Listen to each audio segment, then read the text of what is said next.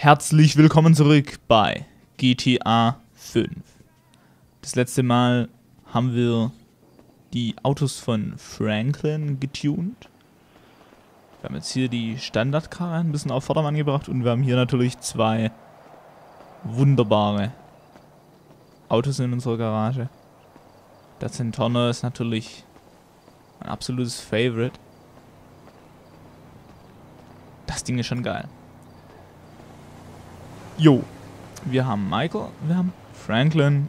Jetzt fehlt natürlich noch der gute Trevor. Und ich sollte aus dem Haus gehen, um... Nein. Das wollte ich gemacht haben. Und zwar gucken wir mal bei Trevor vorbei. Denn der kann noch ein paar Sachen kaufen und der kann auch noch Autos upgraden. Okay, so they're all dead.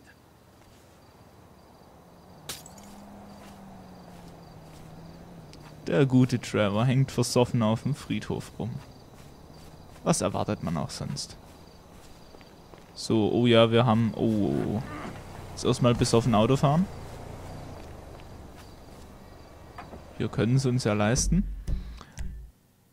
Als Trevor können wir uns so alles leisten.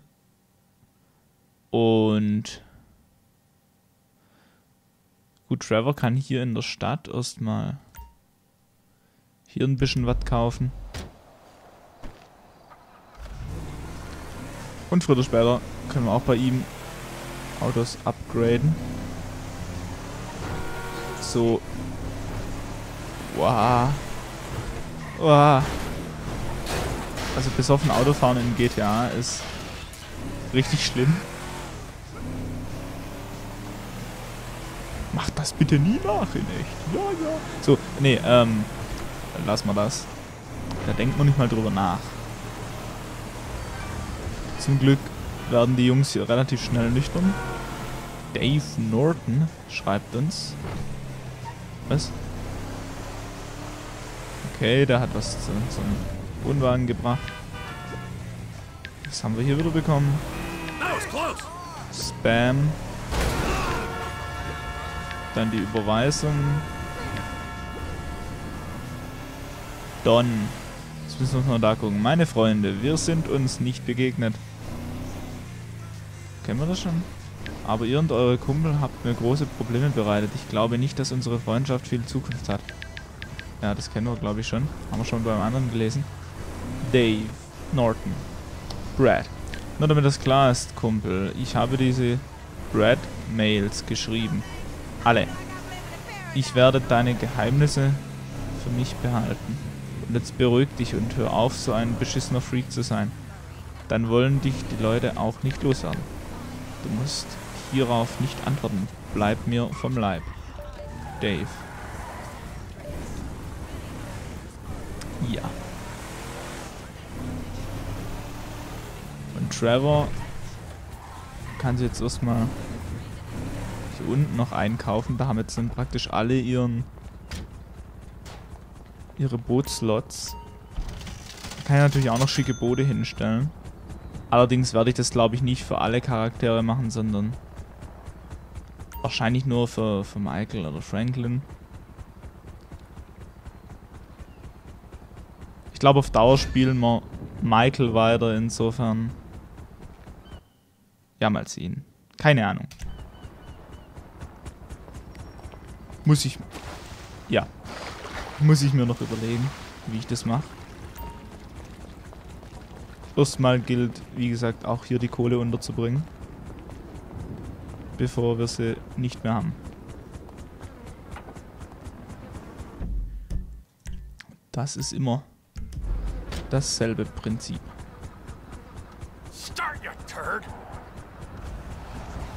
So. Hoppla.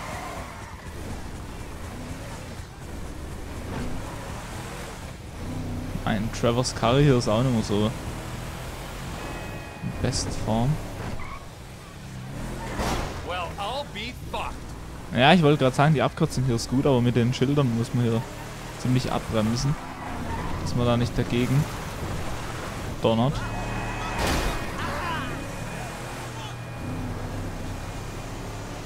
So, hier unten gibt es eine Garage, den Spot kannte ich noch gar nicht.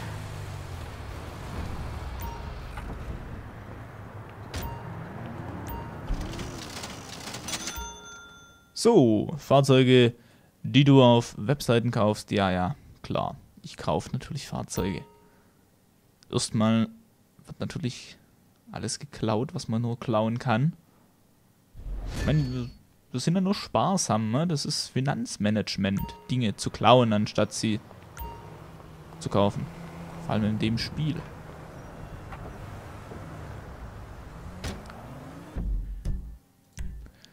Gut. Also jetzt hat er sich hier wirklich allen Blödsinn zusammengekauft. Right. Hier kann er nichts mehr, das ist zu teuer. Das wissen wir ja. So, das heißt, das hier kann er sich gar nicht kaufen, ist auch interessant. Das wollte ich eigentlich übrig lassen. Also im Endeffekt kann er nur noch das da oben kaufen. Sehe ich das richtig? Wartet mal. Also hier haben wir alles. Außer das ist zu teure und das ist zu teure. Äh Ja, genau, er kann nur noch das hier oben kaufen. Den. Was? Ach, das ist doch die, der, der Flugplatz da.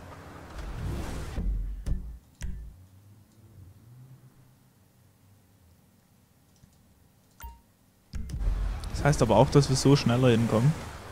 Direkt mit dem Flugzeug. Das heißt, wir können uns da gleich praktisch eins, eins einspeichern sozusagen. So, jetzt kriegen wir natürlich von denen wieder Spam. Bla bla bla. So. Gut. Auch interessant, wie jeder so seine Spezialgebiete hat. Also Michael kann vor allem also die, nur dieses Kino-Ding da kaufen. Äh, Franklin kann nur hier Los Santos Customs kaufen und Trevor kann sich nur diesen Flugplatz holen. Also die Spezialisierung kommt schon noch durch was auch irgendwo gut ist, denn so hat man einen gewissen Zwang auch mal mit, mit Trevor zu spielen. Wenn nur der feine Herr Flugzeughangars kaufen kann oder den Flugzeughangar. Den großen hier hinten konnten ja alle kaufen.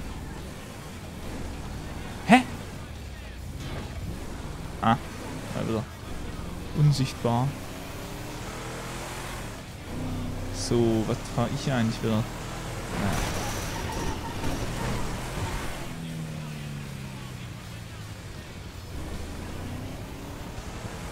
Der lässt mich freiwillig rein, dass ich dann Sterne krieg. Was ist das denn wieder für eine Logik hier?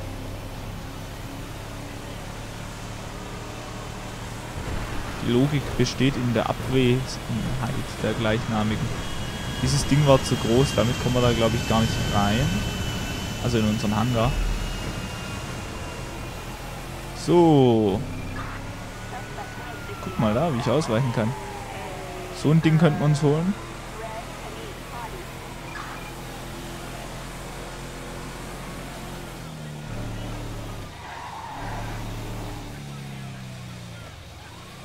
Ne, dann nehme ich lieber so einen Doppelpropeller. Bitte? Habe ich mich jetzt gerade selbst überfahren? Keine Ahnung, ob das gescheit kommt mit dem Mikro, aber hey, Profis am Werk. Also ein Profi am Werk. Naja. Wie oft ich schon aus diesem Krankenhaus hier gekommen bin, ist auch nicht mehr feierlich.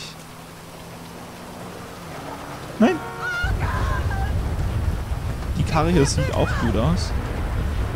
Das wäre was für Trevor mit Pritsche dass er seine Leichen durch die Gegend transportieren kann. Und der Regen sieht verdammt gut aus. Guck dir das mal an hier. Doch, das sieht schon gut aus. Hab schon lange keinen Regen mehr erlebt im GTA, deshalb hebe ich das gerade so hervor. So, Gegenverkehr. So, jetzt bei Gewitter fliegen. Wäre natürlich auch mal eine ganz andere Atmosphäre. Haben wir, glaube ich, auch noch nicht gemacht. So, dann hoffen wir mal, dass das Wetter so beschissen bleibt.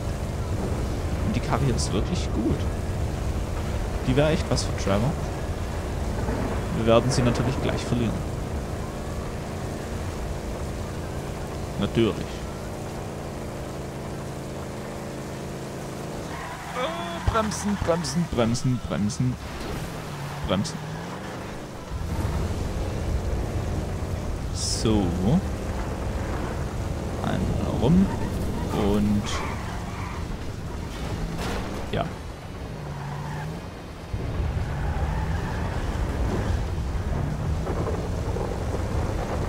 240 PN 299. Auch ein nettes Kennzeichen. Huch.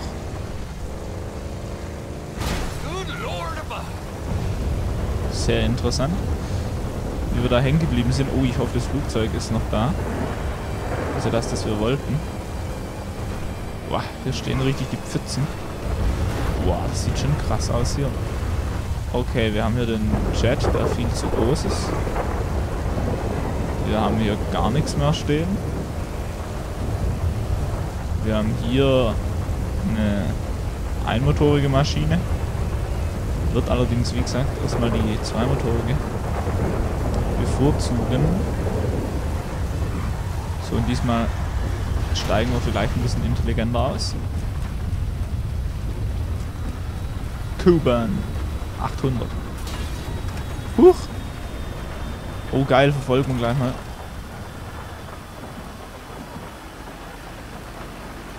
So. Mach die Tür zu. Huch! Äh, ja. So. Bitte machen Sie die Landebahn frei. Ähm. Ähm. Ähm. Warte mal.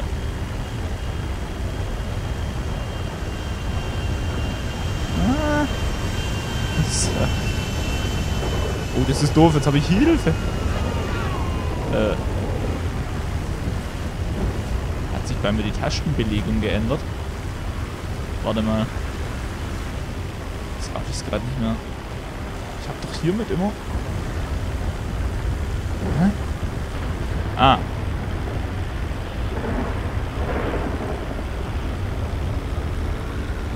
So war das, genau. Okay.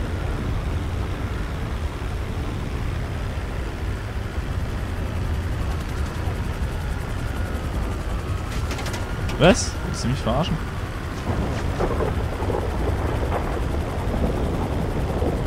Schieß doch nicht auf mich. Mann, Mann, Mann. Nur diese aggressiven Bullen. Gegen das Fahrwerk. Ah.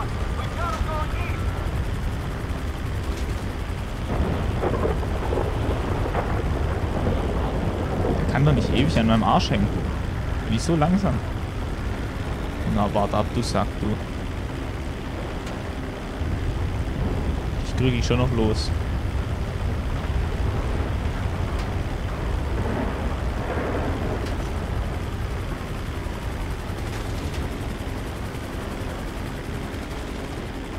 Frage ist, wie gut müssen wir fliegen? Ah, so gut. Ich dachte, ich muss jetzt noch mit richtig harten Stunts anfangen, bevor wir den los haben. Haben es zum Glück jetzt schon hingekriegt. Derweil sollte ich mal gucken, wo wir eigentlich hin müssen. Was?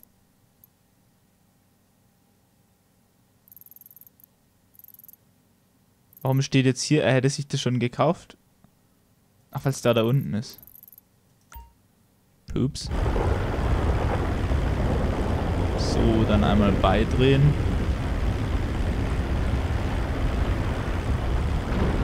Na, na, na. So. Heute gibt es mal wieder Turbulenzen. Nein, ich keinen Witz draus. Das war mein voller Ernst. Und... Okay. Oh! Ein Licht haben sie uns schon mal kaputt geschossen.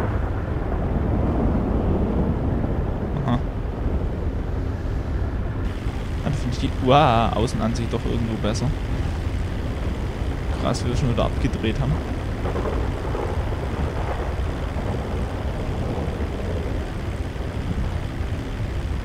Ich glaube so oder so, dass ich ein bisschen hier rüber muss, um dann direkt auf die Landebahn zu kommen. So.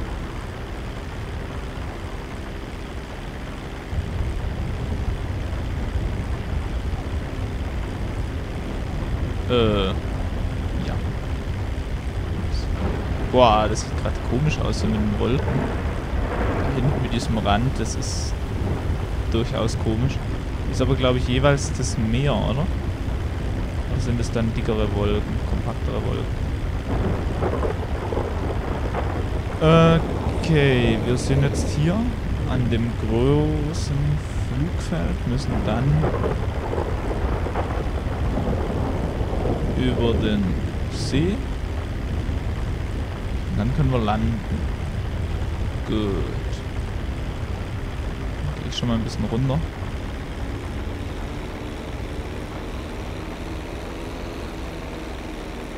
Oder? Sehe ich das gerade richtig?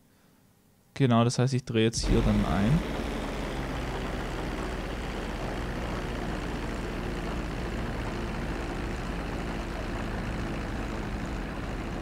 Oh, ich bin tatsächlich viel zu hoch. Zu hoch!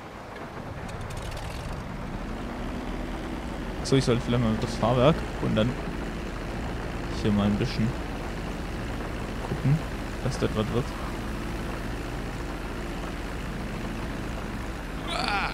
So.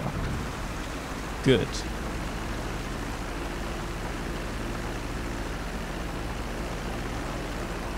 Dann fahre ich den gleich mal rein. Passen ja eigentlich auch zwei rein. Gucken wir mal. Könnte knapp werden. Toll, und mir fällt gerade auf, dass ich nicht offline gegangen bin. Jetzt sieht man, wenn andere Leute online und offline gehen. Ganz toll. Oder irgendwelche Spiele spielen. Das ist äh, doof. Ching, ching. Hey, T!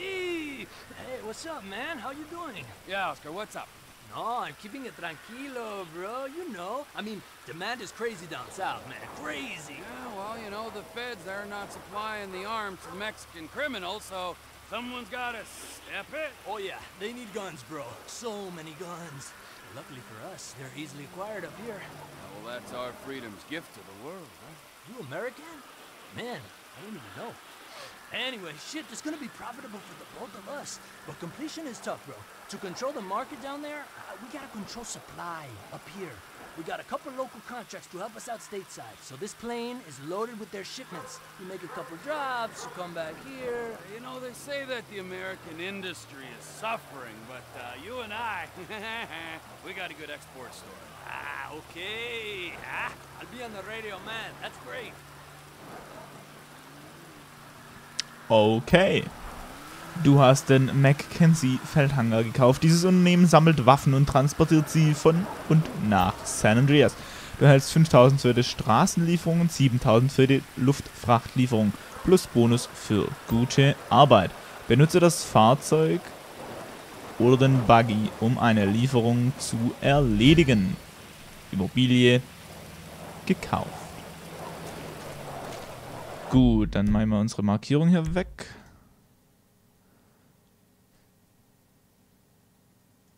Oh, so.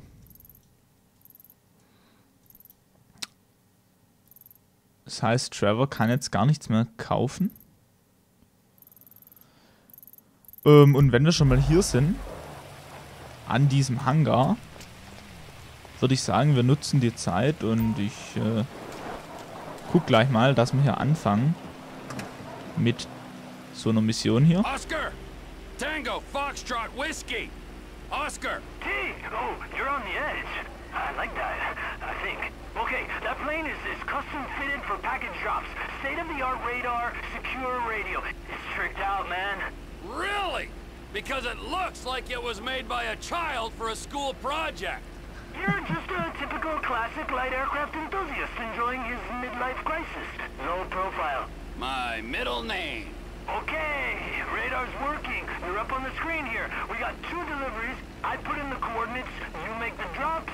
You get out of there. Easy. Roger. Oscar,